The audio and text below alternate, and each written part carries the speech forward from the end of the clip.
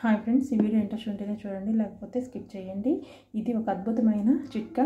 మజ్జిగను తయారు చేసుకోవాలంటే చాలామంది ఆ గ్లాసుల్లో వేసి ఈ గ్లాసుల్లో అటు ఇటు తిరగబోస్తూ ఉంటారు కదా. అలాంటప్పుడు మజ్జిగ అనేది తొడకలు తొడకల్లాగా వస్తుంది టేస్ట్ ఉండదు. అలా కాకుండా ఇంకొంతమంది ఏం చేస్తారు? మిక్సీ జార్లో వేయటం కానీ లేకపోతే బ్లెండర్తో బ్లెండ్ చేయడం కానీ మజ్జిగ కవంతో కానీ చిలకటం కానీ చేస్తారు. అలా చేయకుండా చాలా ఈజీ ప్రాసెస్లో మజ్జిగ ఎలా తయారు చేసుకోవాలో చూపిస్తాను. ఈ విధంగా మూత గట్టిగా ఉన్న డబ్బాలు ఏవైనా పర్వాలేదు. స్టీల్ డబ్బాలు కానీ ప్లాస్టిక్ డబ్బాలు కానీ ఇక పెరుగును మాత్రమే వేసుకోవాలి. నీళ్ళు కలుపుకోకూడదు. ఇక పెరుగును వేసేసి మూతను గట్టిగా పెట్టేసి ఈ విధంగా గట్టిగా షేక్ చేయాలి.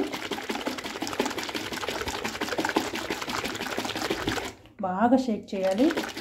జస్ట్ సెకండ్సే మనం మిక్సీ జార్లో వేసుకున్న బ్లెండర్లో వేసుకున్న మజ్జిగ కవ్వంతో చేసినా సరే మరలా అదంతా కడగటం చేయటం పెద్ద ప్రాసెస్ కదా. అలా కాకుండా ఈ విధంగా ఇలా ప్లాస్టిక్ డబ్బాలు గట్టిగా మూత ఉన్న దాంట్లో స్టీల్ డబ్బాలైనా పర్వాలేదు గట్టిగా ఉండాలి మూత.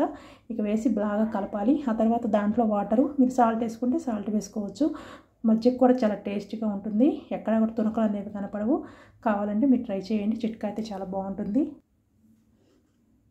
ఇవ్వండి ఫ్రెండ్స్ చూడండి. ఇప్పుడు దీంట్లో ఇంకా వాటర్ కలుపుతాను. ఎంత బాగుంటుందో మజ్జిగ అయితే సూపర్గా ఉంటుంది. ఇలాంటి డబ్బాల్లో మజ్జిగను తయారు చేసుకోండి. ముందే కలపొద్దు వాటర్. మంచి చిట్కా ఇది. ట్రై చేయండి. ఏమాత్రం మనకి టైం లేనప్పుడు ఇట్లా చేసుకోవచ్చు. సూపర్గా ఉంటుంది టేస్ట్ కూడా.